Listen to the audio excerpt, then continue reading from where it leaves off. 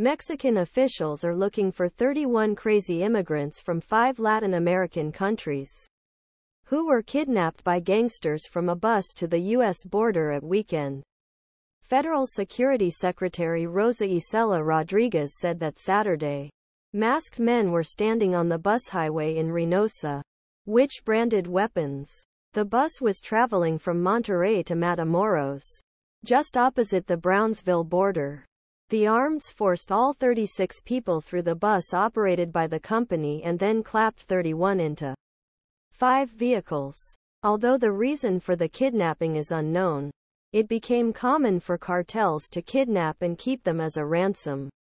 According to Rodriguez, the kidnapped immigrants came from Ecuador, Colombia, Venezuela, Honduras and Mexico. Colombia President Gustavo Petro confirmed that he was among the four Colombian prisoners on Tuesday.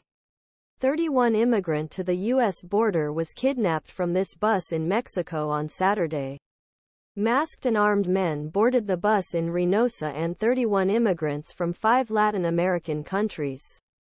According to local reports, passengers turned to the border for shelter with U.S. officials.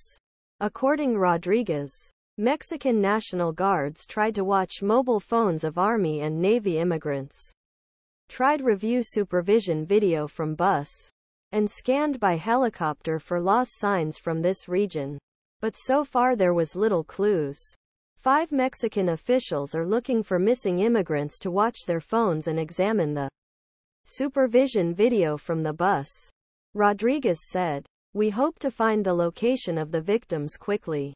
Rodriguez said, the secretary stated that the number of immigrants kidnapped on December 30 is unusual.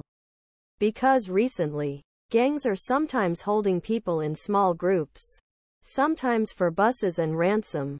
Immigrants and human rights activists have been raising red flags about an increasing kidnapping crisis in guilty Tamaulipas border region in Reynosa, which has become a bed of rival gangs fighting for the control of region for months.